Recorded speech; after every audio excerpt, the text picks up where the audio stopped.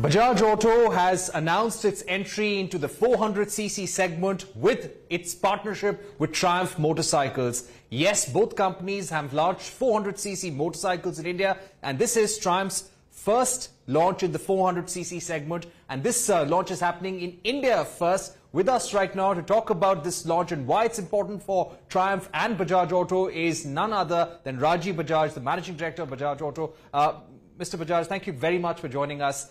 The, the pricing first. How difficult was it to keep the price at this level? How do you see the competition in the 400cc segment now? It's going to be a three-way contest. Well, Parikshit, first of all, um, you know, we already have our own brand, the Dominar 400, and of course the KTM 400s uh, in this segment. So the segment is not new to us as such. Um, for us, it is not just a new partnership, new products, but also a new plant uh, at Chakan, our second plant there. And I think we've done a great job. I must congratulate uh, Joe and Pradeep and the teams for having done a fabulous job, uh, both as R&D and as supply chain, um, to have been able to achieve what I would candidly say are the highest specs we have ever been challenged to achieve, particularly in terms of aesthetics of design uh, that Triumph is expected of us. And at the same time, to have done it, as you say, at such a competitive cost uh, you know, it's really remarkable. I think it sets a new standard. And I think it's fair to say that without setting new standards like this, it is very hard to compete in a cluttered and mature space. So uh, it's taken five years. Um, as I like to say on a lighter tone, uh, you know, we first met with Triumph in 2006, although the, uh, sorry, 2007, although the project was kicked off only in 2017. Uh, so in a way, it's taken 16 years um, to come to this day uh, after we first started. So that's a world record in itself that a partnership has taken 16 years to fructify into actual product. But yes, very competitive products, both in terms of performance and cost. Right. So you were already there in the 390 segment, 400cc segment with the KTMs and the Dominar. Uh, KTM possibly the more adventure off-roader segment. Why did you go ahead for these motorcycles? You've got Royal Enfield, which is a market leader here with a 90% market share. You, did you feel that Royal Enfield, in a way, is unchallenged? Did you, did you see space here? Uh, why the 400cc segment? Because this is where Harley Davidson and Hero MotoCorp are also investing. Parikshit, this needs a little longer answer in the sense in 2007, we were working towards our strategy to be what we had defined as being the most versatile and complete motorcycle manufacturer in the world. So we knew that with our own brand, we could uh, address the mass premium and the mass space. You know, but to uh, address advanced markets and the premium or lifestyle segment, we didn't think, quite frankly, that our brand could carry itself there. Of course, we could have designed the products uh, for those segments, as we did eventually with KTM and Triumph, but we would not have pricing power, uh, you know, if we went in the Bajaj brand. So we said to ourselves that, um, you know, I am a believer in the maxim that the opposite of a truth is another profound truth. You know, Niels Bohr said this. So we said to ourselves, there will be two mindsets at the two ends of the spectrum. Uh, a very sporty racing mindset, and the brand for that is KTM like no other. And then there will be the very classic uh, mindset uh, for cool riding, if I may call it that. And there is no brand, in my view, better than Triumph to address that space. So that is how, in 2007, we actually met up with uh, both these companies. With KTM, things progressed faster, but uh, nevertheless, we followed with Triumph afterwards. As far as Royal Enfield is concerned, you know, I say to people that um, when the in the US when the uh, bank robber Willie Sutton was asked, uh, "Why do you rob the bank?" Uh, and he uh, said quite simply because that's where the money is. You know, so I would say to you that today between Bajaj, TVS, um, uh, Enfield, and Hero, Bajaj has about 50% share of the profit of the industry. Um, you know. Um, but there are two profit pools, large profit pools outside uh, of this, which have been elusive. Mm. One is the Splendor, um, and one is the Royal Enfield. Mm. So I think uh, with this brand, uh, the consumer will give us the license to compete in in the space that uh, Royal Enfield has done so exceedingly well in. I mean, hats off to Siddharth what he's achieved. Um, and hopefully we can make some impact there. Right. So you said that if uh, Royal Enfield is where the money is, you'd like to rob the bank. Mm. But uh, this segment, according to a number of reports, the 350cc segment is growing at a CAGR of 10%, 9 to 10% per year. How big is this pie, the 350cc segment uh, plus pie, and how much are you hoping to capture with these motorcycles? Well, um, I think in volume terms, uh, currently this probably represents 10% of the industry, of the domestic industry, because as you know, the uh, bottom of the industry has shrunk a bit. So the, the, the, bigger motorcycles probably represent close to 10%.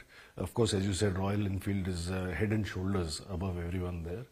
Uh, but that's in volume terms. In terms of revenue um, and profits, as we just said, uh, it's much larger than, than 10%. So this is a huge opportunity for any motorcycle maker. Um, in terms of what impact we will have, uh, you know, this only time can tell. I can only say that uh, we have an initial capacity at our new plant for 5,000 Triumphs a month. Hopefully in three or four months, we are able to scale up to that volume. We have to do it carefully because again, new plant, new people, new partnership, new product, new standards. Um, and then from there onwards, um, uh, if the domestic demand continues to expand, and of course, um, I think from October or November, we expect uh, Triumph orders to come in from all over the world. I'm told there's a lot of excitement building up in Triumph markets across the world.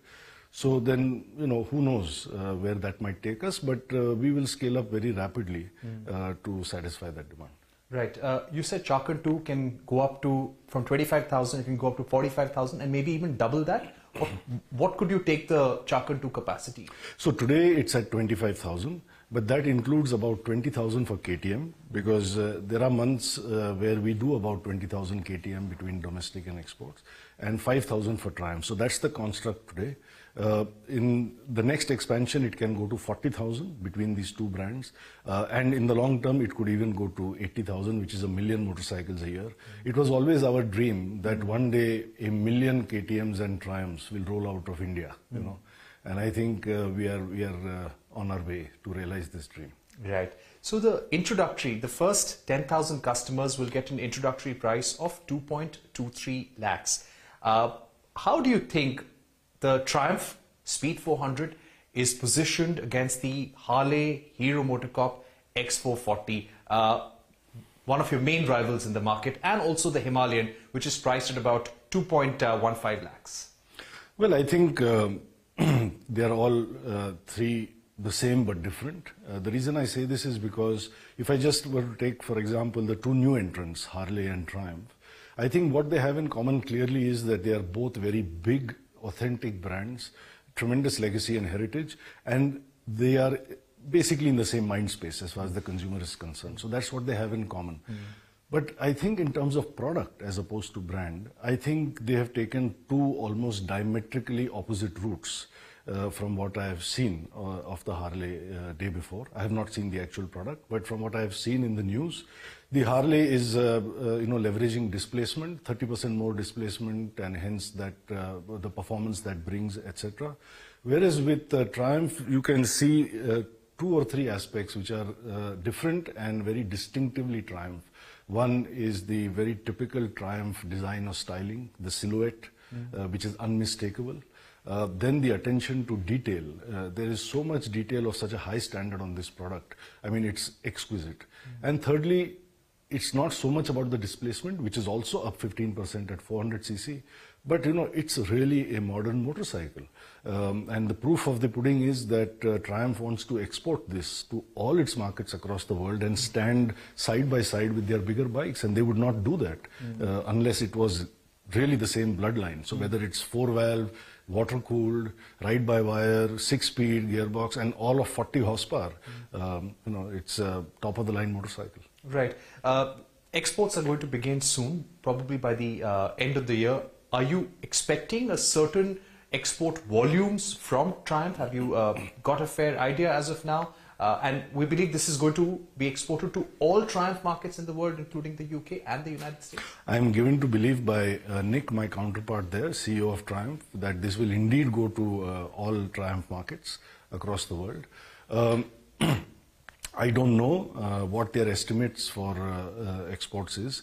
And I think I would not be wrong if I said that they would be a little unsure themselves Because I have been through this experience with KTM in 2007 when smaller KTMs at these price points uh, was something uh, that was completely uh, uncharted waters for them, you know. So equally for Triumph, a 400cc at this sort of a price point for exports is just completely unfamiliar territory. Mm. So it becomes very difficult mm. in this kind of a, uh, you know, white space mm. to uh, guesstimate what might happen. Right. But I think, as you say, we will know better by the end of the year. Right. Uh, I would also like to ask you about expanding the touch points. What Hero MotoCorp is doing, that in addition to Harley's existing 25 dealerships, they will be retailing the X440 in at least 300 premium uh, outlets of Hero Excuse me. in the next one year or so. This is how they want to get scale and increase the footprint.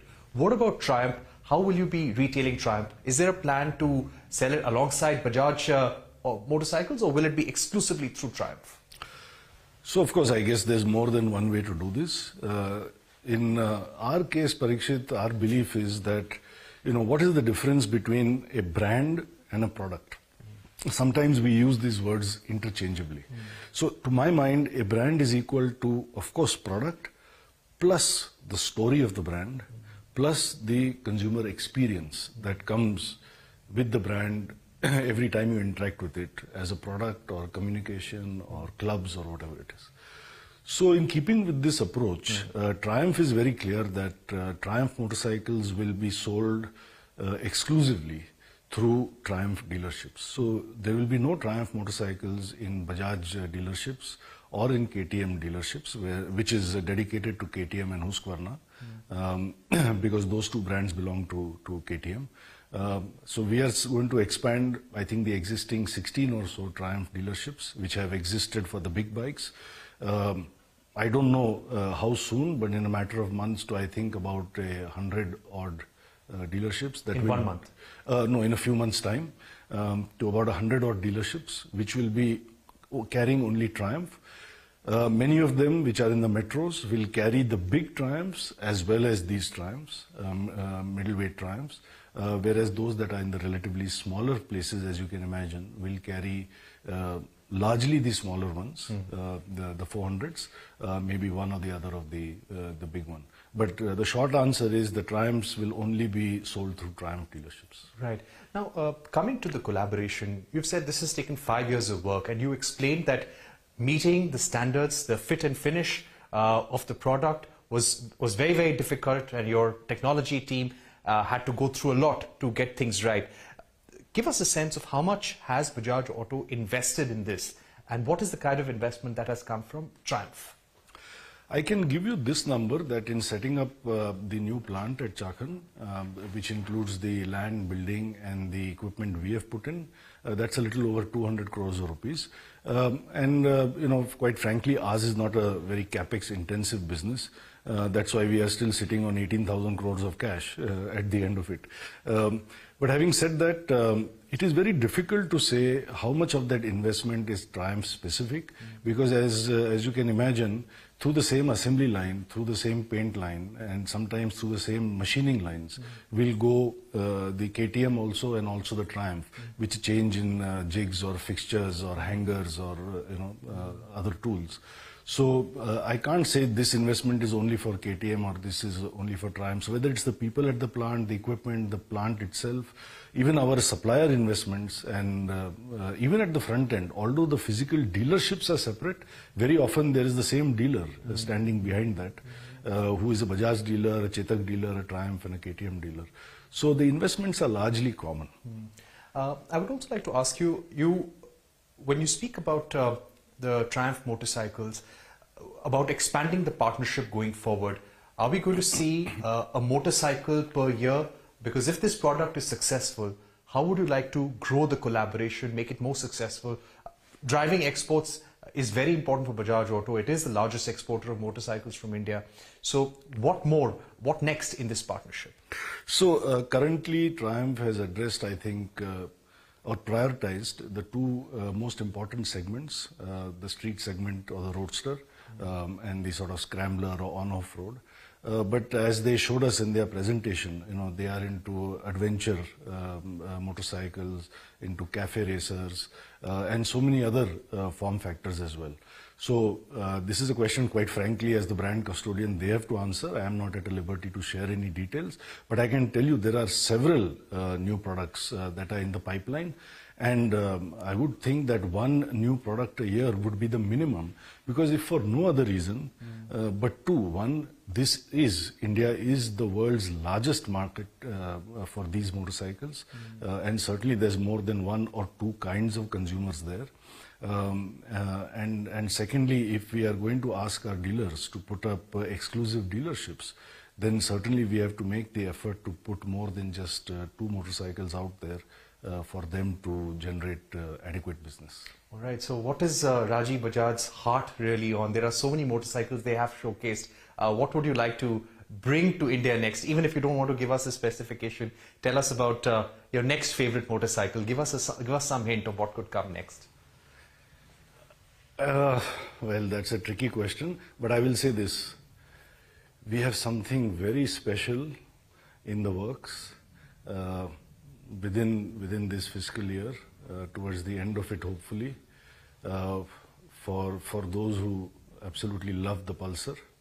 Um, the next big thing uh, with the Pulsar. So uh, we've done, I think, a reasonable job with the Triumphs.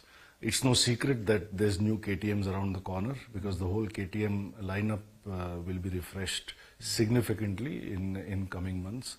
But uh, in the end, the one brand or product which in 2001 changed Bajaj from a scooter company to a motorcycle company and from a domestic company to a global company as the world's favorite Indian and today the most valuable two and three wheeler company in the world uh, is Pulsar.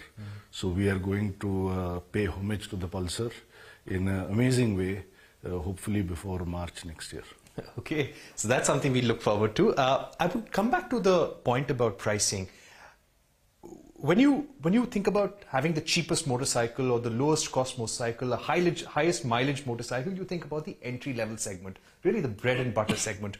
When you see think about iconic brands like the Triumph, uh, the Harley Davidson, you think about the most premium, the most cream uh, customer in the market. So when you have this price for, and you have companies saying that this is the lowest price Harley or this is the cheapest Triumph ever, do you think this strategy can work with the customer, with a with a customer who who aspires to buy a Triumph one day or own a Harley Davidson one day? I think, you know, what is uh, uh, quote unquote cheap for one person is a fortune for another. You know, so it all depends on one's own context. And actually, the reason for the success of our partnership with KTM, which saw KTM go from 65,000 motorcycles a year in 2007 to becoming the number one premium motorcycle in the world by volume now at over 300,000 motorcycles a year, is because we did not. um uh, comply with this um, implicit assumption that you can either buy something that's affordable or something that is aspirational. What KTM Bajaj brought to the table, and if I may say so, then uh, motivated TVS, BMW, and even Bajaj Triumph uh, to come together, um, was to be able to to offer affordable inspiration, let's say, or affordable aspiration uh, to that customer, uh, you know. And uh, I think that's what we are doing with Triumph. I don't think we are offering uh, a, premium product. I don't think we are offering a cheap product. We are offering great value uh, for a great brand and a great product. And it's still at a small premium to the uh, current market leader, but that's because there's a hell of a lot more content on, on the Triumph motorcycle. Right. Now, Triumph, as Nick pointed out in the in the press conference, has invested in this partnership with Bajaj Auto because they see great value in India as a market going forward. Uh, how will this partnership grow? What is your uh, view on it? Right now, Bajaj Auto is a contract manufacturer for Triumph motorcycles. Uh, possibly in future, there will be more motorcycles which will be made here at Chakan too. Could you get into an equity partnership the way you have a partnership with KTM? Would you want to buy a stake in Triumph in future? Are those kind of conversations going on? Like you said, it was your dream, uh, a 16-year-old dream to partner with Triumph and deliver these motorcycles. Uh, are you considering buying a stake? Well, first I must uh, say this that uh, if I were a contract maker, I would essentially be building to print. Um, you know that Triumph would supply us. Excuse my cough, but that's not the case. Um, I would not be wrong in saying that uh, first, as far as uh, R&D or design development is concerned, uh, while as brand custodians everything is defined by Triumph, but if I were to uh, guesstimate the share of man hours that have gone into designing, developing, prototyping, testing, etc. of these motorcycles, probably 80% of those man hours have been invested over here by, by Bajaj engineers. These are ground up motorcycles. So, so brand new motorcycle, and, and that's the effort we put in, in, in developing them. Otherwise, we, if these were completely designed and developed by Triumph in the UK, we would not have hit this sweet spot in terms of cost. Number two, as you're probably aware, that the Indian market, the subcontinent, most markets in Africa, and a couple of markets of LATAM and uh, ASEAN will be managed directly by Bajaj in terms of all marketing, sales, everything. So we are the, if I may say so, the brand custodians of Triumph. For example, we will be so in Colombia, we will be so in Myanmar, Cambodia, and as I said, in the subcontinent, etc. So if you're a contract manufacturer, you do not participate in design and you certainly don't uh, manage the market.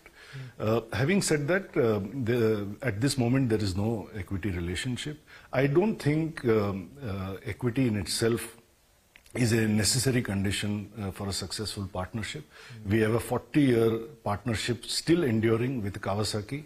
Um, uh, today it is uh, manifested in terms of Kawasaki being uh, our distributor in the Philippines, and there is no equity that either company has in, each other. So I think uh, I've always believed that uh, mutuality uh, of purpose, of objective in the marketplace is a far bigger objective and a far more compelling reason for two partners to stay together. Otherwise, if you look at the history of the Indian uh, motorcycle industry, Hero Honda, Kinetic Honda, LML Vespa, Escorts Yamaha, TVS Suzuki, LML um, uh, and the Korean maker uh, Daelim, none of these exist. These were all equity relationships. The only one that endures is Bajaj Kawasaki. That was not a equity relationship. Uh, so I would like to ask you, you've got a partnership, very successful partnership with Kawasaki, very successful partnership with KTM, and a successful partnership with Triumph going forward. Are there new collaborations, new partnerships that you are considering, uh, either through an equity route or through uh, a technology partnership? Uh, yes and no. Uh, no, in the sense that, uh, as I said, we wanted to be a complete um, motorcycle maker. I think between Bajaj, KTM, and Triumph, we are there. So, so in that sense, no.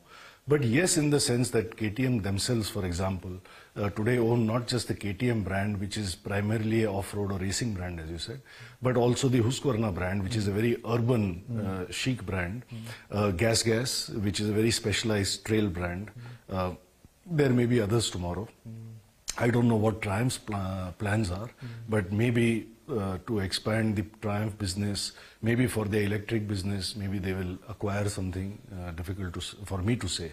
So, in that sense, yes, uh, we may get involved in more brands in the future, um, and uh, that will help us to address whatever little niches, edges, corners are left out of this uh, motorcycle pie that we want to participate in so completely. So, you know, as someone said, life should be not necessarily perfect but whole. Uh, you know, so we won't say we make the most perfect motorcycles, but I think we are a very wholesome motorcycle company. Right. Mr. Bajaj, my final two questions, and this would be on uh, the EV roadmap. Uh, the industry has seen a drop in sales on a year-on-year basis after the subsidies uh, were cut down. It has been a drastic cut for many automakers. Has the loss per vehicle for EVs gone up? And how do you see the competition in the market? Do you feel that Bajaj Auto now has a need to uh, ramp up and really pull up its strategy, considering you've got some uh, entrants like Ola, which are now dominating the market. Ola has a 40% market share. Yeah. So as uh, Rakesh said on your channel a couple of days back, um, if you average uh, the uh, sales in May and June, uh, that average is uh, pretty much the same uh, as what we witnessed in April or the months before that. So I think uh, the market did react in June very sharply, adversely to the price increase, uh, but I think it will it will come back because the OPEX in terms of the savings to the consumer if he moves from ICE scooter to a EV scooter is still uh, positive. So we must believe in that logic uh, uh, that consumers would see that and would come back. Uh, in terms of the loss per vehicle, it is not anymore really because uh, largely the reduction in the uh, uh, subsidy has been passed on. Um, not all of it, but at the same time, it's no secret that the sell prices have also moderated. So if you look at the total cost picture, I don't think uh, we are any worse off than we were before. Uh, but uh, at higher prices. Now, in terms of our own ambitions going forward, we've always said we are not trying to become the number one in this space overnight. Um, we want to tread cautiously, ensure product quality. Uh, again, customer experience is very important to us. So if that means that uh, we are going to be at about 15% share or 20% share, which is where we are in the cities in which we are present, I believe we are at about 20% share, then I consider this to be a healthy market share because then you are top of mind as the top two, top three choices of the customer.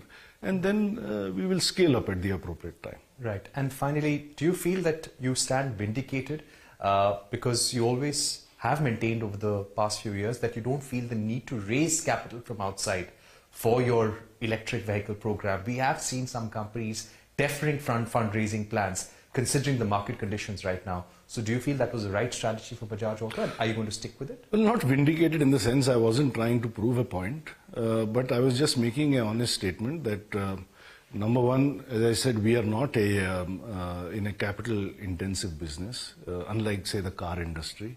Uh, number two, in Bajaj Auto's case, we are sitting on a lot of cash, and number three, most importantly to me, um, whether the money in the business is ours or somebody else's uh, doesn't change my attitude towards the money. In fact, if it's your money that I'm employing in my business, I must do so with a greater sense of responsibility. So we are not, um, uh, you know, conditioned by the mindset that there is some cheap, easy money floating around somewhere, uh, so one can uh, burn this cash because it's not yours, so to speak. This is not where uh, one comes from, uh, old-fashioned as it may sound. But to that extent, I think uh, uh, by having that discipline in mind, we made the right choices. Um, and yes, that seems to be playing out now. Right. Uh, Mr. Jaj, thank you so much for talking to us here on CNBC, Pleasure. telling us about the strategy Thank with you. these two new motorcycles as well. Thank you so much, Parikshit.